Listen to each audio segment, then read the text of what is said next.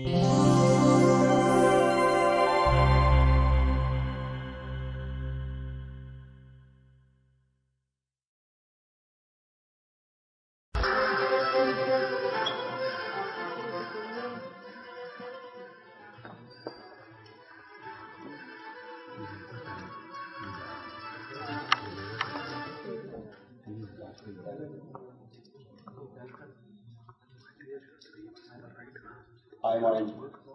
Can you hear me in the back? I? Can you hear me in the back? Yes. Thank you.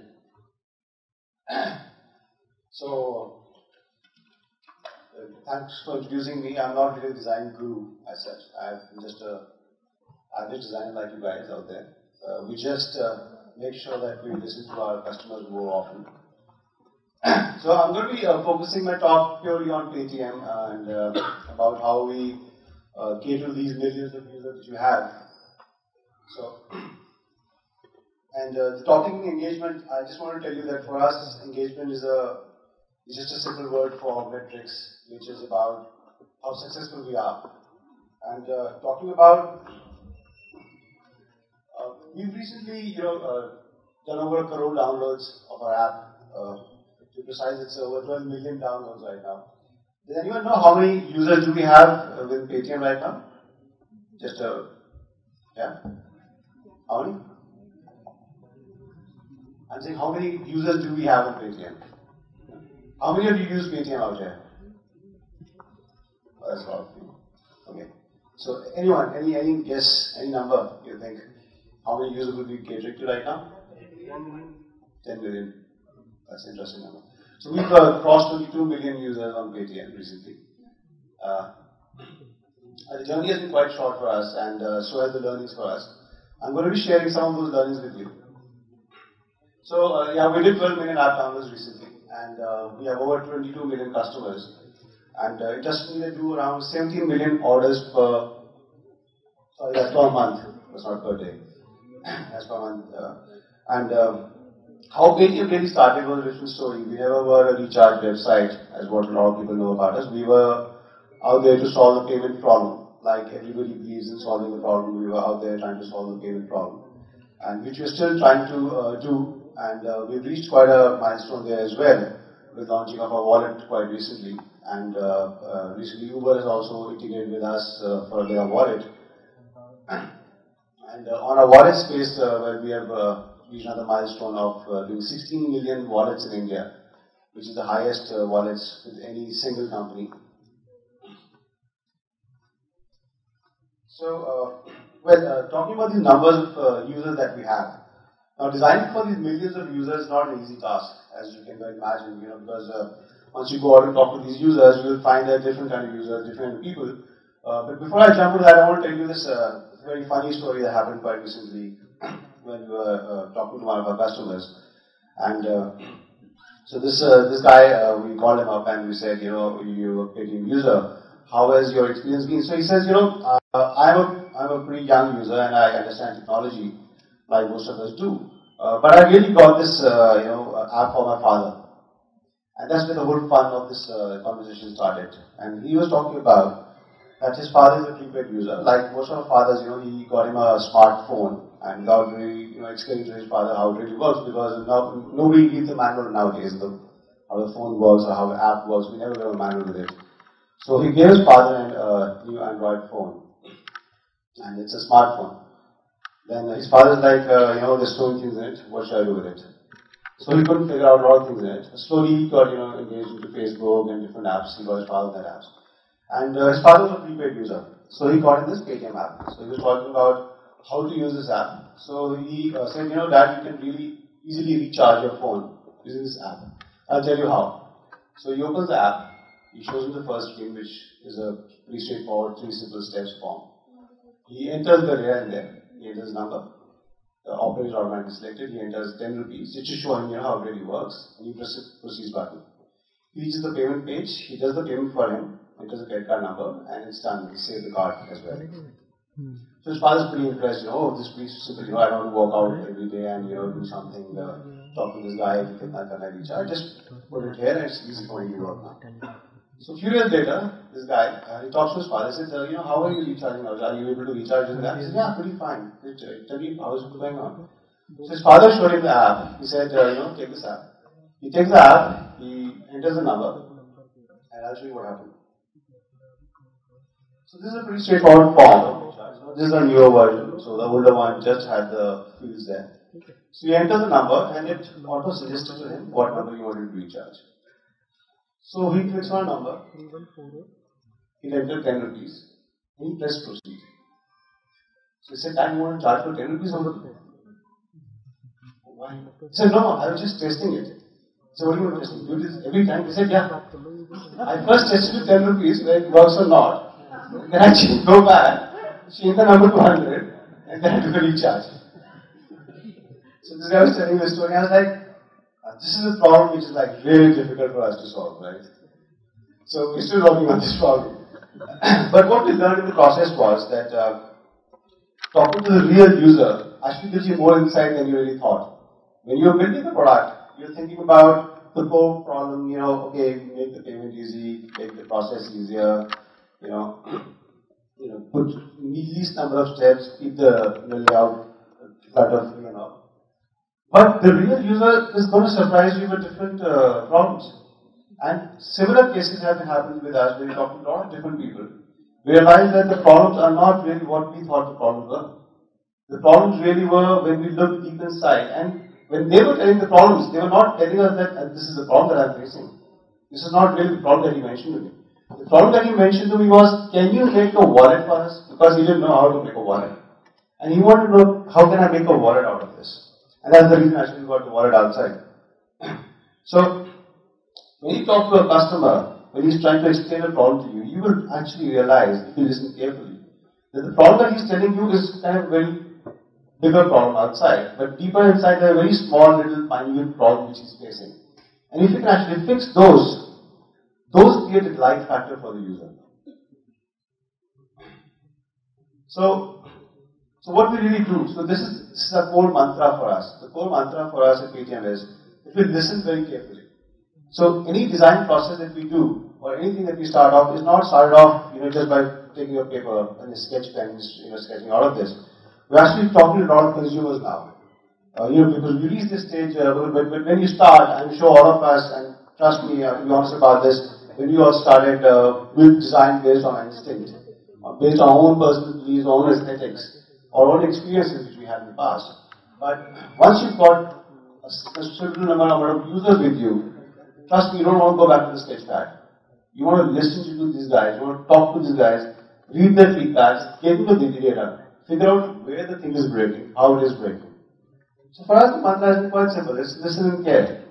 We are listening to consumers every possible way. The social media is out there, and there's so much of like you find stuff on Quora, you find stuff on Facebook. People are tweeting about us. They're you know, putting complaints. A lot of people do complain about you know the recharge getting failed. Things happen. We're trying to figure out why things happen and how things happen, more than you know how can we solve it right now. So when you're looking at a problem, figure it out from that user's perspective. Under what situations, under what circumstances was he facing that problem? And then you'll be able to cater to those problems better. So it's a three-step process for us. Whenever we design something new, or whenever we're making something new, we have a three-step process. It's called iterate, iterate, and iterate. Simple, right? But can anyone tell me, is all the three iterates the same, or are they going to be different? Sorry? Different. How? You put feedback. Could we start with feedback, let's say? You can't iterate without feedback. I mean, I'm not making a change just for the design change, right? Okay. So really, uh, the first iterate for us is about you find a problem, you fix it.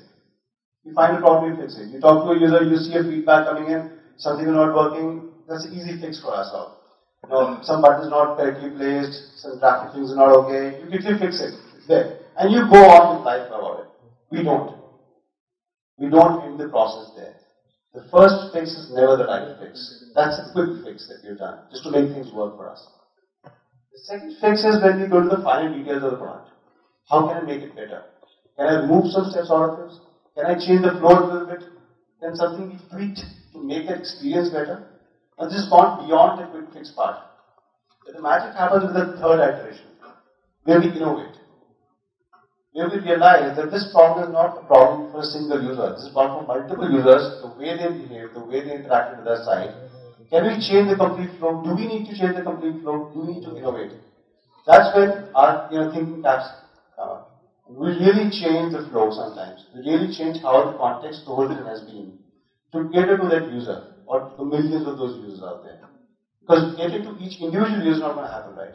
You have millions of users, you have millions of feedback, the way they're going to work, the way they're going to treat. If I give you a sheet of paper right now, tell you draw something, so anything, all of you are going to draw something different, right?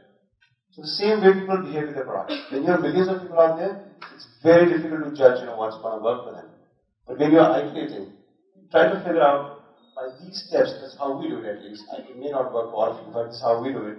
We try to change things based on the feedbacks, based on our own understanding, and then we go back to the user after the second iteration and we use the third iteration after that. I'm going to show you a quick example of uh, something that's that we're working on right now. Uh, this is a screen of uh, order confirmation once you place an order with uh, Paytm with two simple buttons that says repeat and make the transactions, uh, make the recharge. So we got a lot of feedback from a lot of people talking about uh, I don't want to make the recharge right now. I want to do it sometime in the future, but I keep repeating it. Can you give me a repeat after sometime future, like a scheduler kind of thing? So we were working on this uh, new feature to be added to this screen. And why this screen? Because once your uh, transaction is successful, then only we can, you know, plan a schedule for that. This kind of a technical limitation as well. So uh, the first iteration looks something like this.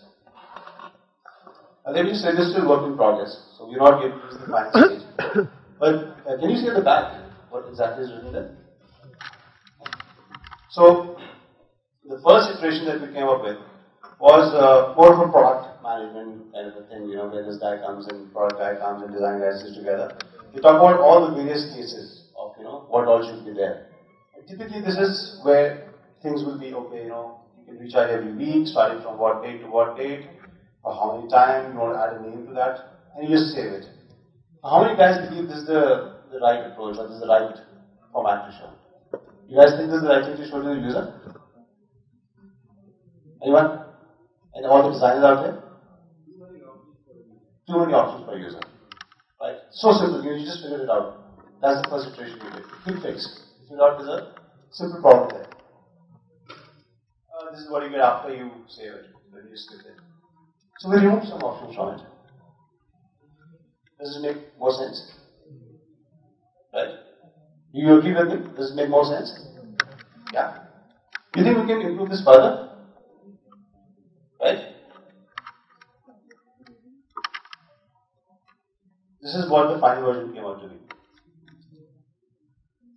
You think this, this makes more sense? Just one option? You have a drop down, you can just change the number of days there. Right? But this is stage 3. But this is not stage 3 of the iteration, it's stage 3. This is stage 3 of the second iteration which is there. Final, after this is what we did was to make it look much more simpler. You got to recharge, you want to recharge this number again, every 30 days, just confirm. Right. Once you do, just tells you it's done. But I want to show you back there.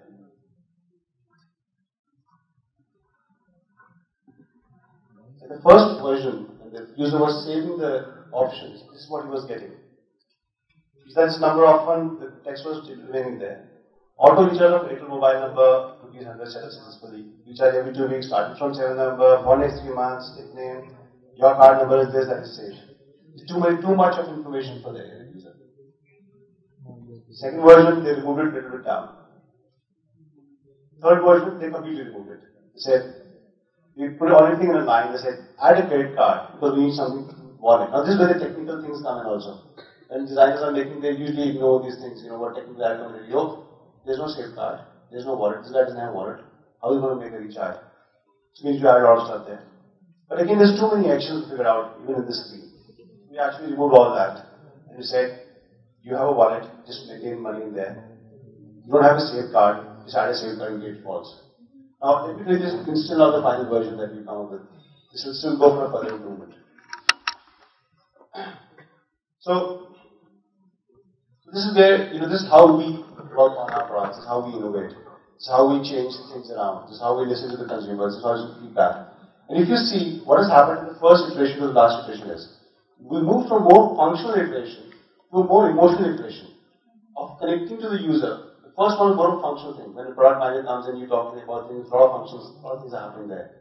We've cut down on the crap by the time we reached the last version. So we reached from the functional iteration to a more emotional iteration.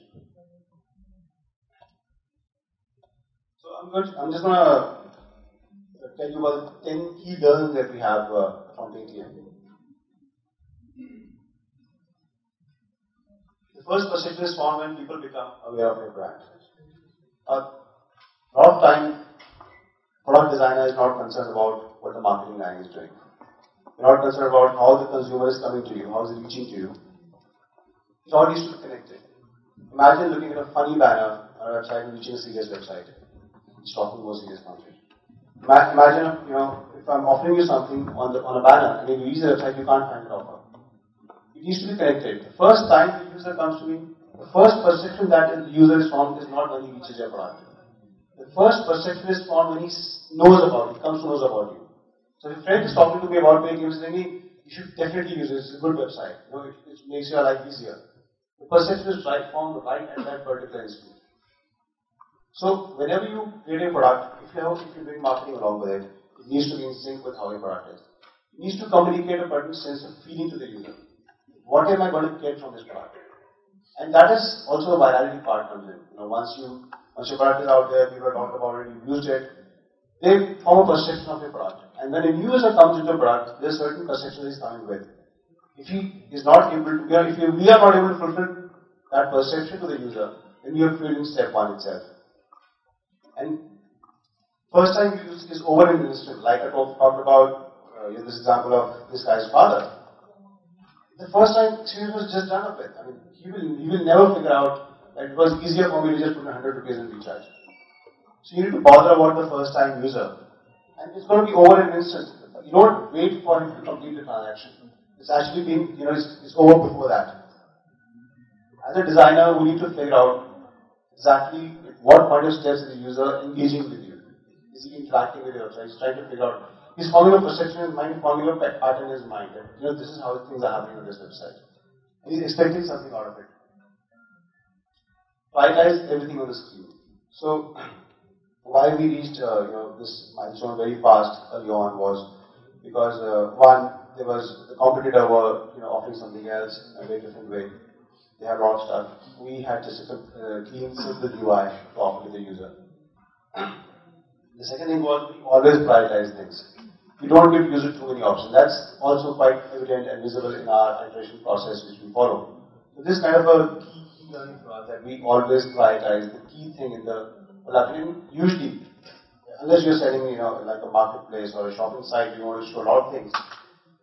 If it's a function-based application, if it's a utility application, your key function should be highlighted the most. Try and get rid of everything else that is there. Keep it clean and simple. Follows from the same thing. Remove the distractions. A lot of time when we are evolving a product, we also face the same problem now also. We add a lot of things. We add, keep on adding a lot of things to the user. And as a designer, we will, you know, find, you know, adding some more things, adding more delight to the user is really not helping the user sometimes. Your function, the priority should be the function of the application. By adding anything extra, you're just distracting the user from there. This is uh, this is the thing that we are still working on, the checkout process, and uh, because we are off the constraints from the RBI right now in payment space, Using checkout payless, adding a wallet is part of that process. And uh, now, I know if you use a wallet, it's much more convenient to pay for a lot more services than just recharge with Paytm. And uh, Uber has recently, like I said, uh, Book My Show and Make My Trip also, I think, now has our own wallet. So we're trying to make the checkout process much more uh, convenient for the user. Uh, it's difficult for you know, people to trust you simply with the wallet, and making the checkout process going to be much more time consuming for us also now. So this is something we will be working on. Uh, we've reached a stage, yes, where we can say that it's quite simpler, but we are going to work on more on the checkout process for us. even in anything that you do, if, if there is a checkout process, and usually checkout process doesn't only mean payment, it means how the user is finishing up to the task that he's coming here the perform. If it's not simple, it's not evident enough, he's going to you know, jump off the side very fast.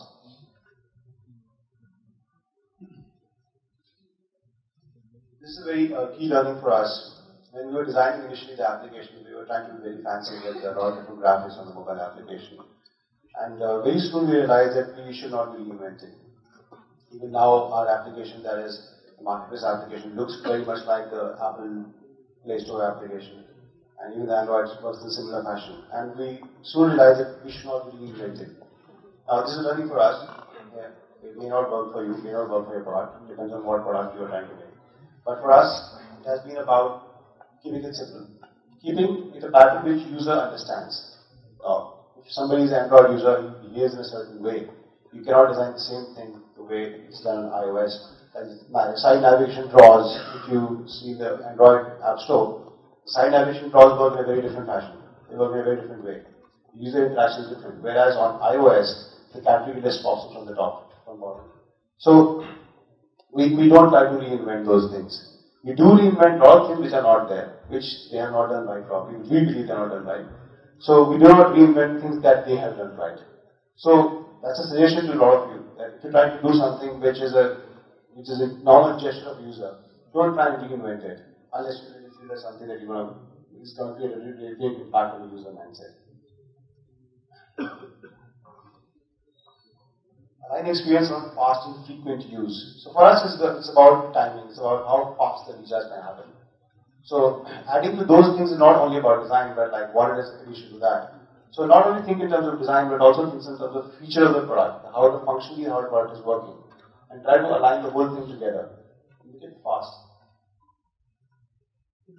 Uh, Amit also talked about delighting the user. So for us, the delight you know, factor has been the quick recharge that happens. For us, for us it's not really about entertaining the user right now. So, depending on your product, it is not about showing a great graphic in the end, you know, adding a small icon in the end which says there's a candle there.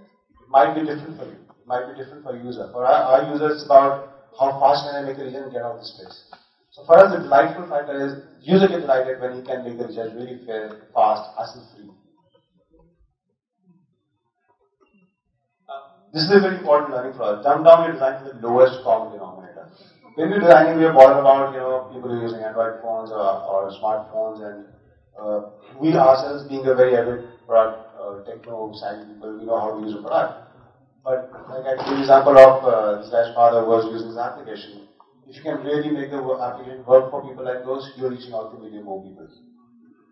Imagine those people who are not, who are just getting onto a new smartphone who are trying to understand how the platform works. For them, adding something new or something which you would expect them is a, is a, is a novel gesture might not work. So, design for the people who have not used the application ever before, who have not used a smartphone ever before. And that's when you would uh, probably reach to a much bigger audience. You can cater to those people. Uh, that's all for me. Thank you so much.